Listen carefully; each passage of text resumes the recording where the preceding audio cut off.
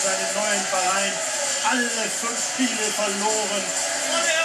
Und hier deswegen diese große Erleichterung, das kann man nachvollziehen. Da fällt auch mal ein Rucksack weg. Auch wenn es nur ein Hallenturnier ist.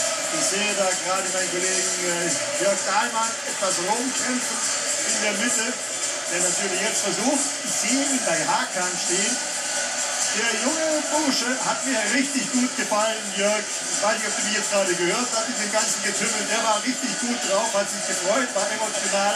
Klasse. Jörg mit Hakan. Ja, Hakan ist bei mir und gerade voll des Lobes. Thomas Hermann, der Reporter, da fast überschwänglich, muss ich sagen. Herzlichen Glückwunsch. 17 Jahre, erzählen Sie ein bisschen was über sich selbst. Ja, als erstes, wo ich war, ich war sehr nervös. Mit den Profis zu spielen ist äh, was sehr wertvolles für mich. Und ich hoffe, dass es so weitergeht mit mir. Weil ich bin schon Profikader und ich wollte, ich, äh, mein Ziel ist jetzt dabei zu sein. Man muss ja wirklich sagen, Sie spielen in der U19, also in der Mannschaft, die unter 19 ist, selbst 17 Jahre. Und jetzt hochgezogen von Jörn Andersen. Wie kam dieser Kontakt dann zustande? Hat, hat er Sie angerufen oder wie kam das dann? Ne, wir hatten zwei Freundschaftsspiele gegen Schaffhausen und gegen die Amateure.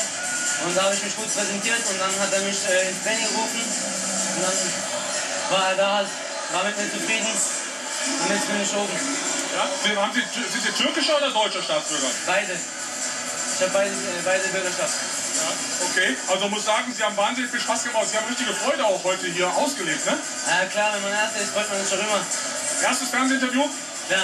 Mehmet Scholl hat mir auch sein erstes Fernsehinterview gegeben. Vielleicht bringt das Glück. Thomas.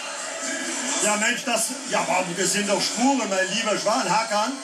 Und irgendwann muss er sich vielleicht dann auch wieder mal entscheiden, äh, will er denn für vielleicht die deutsche U19-Nationalmannschaft spielen oder für die türkische und wo geht sein Weg hin, aber Schnee von übermorgen.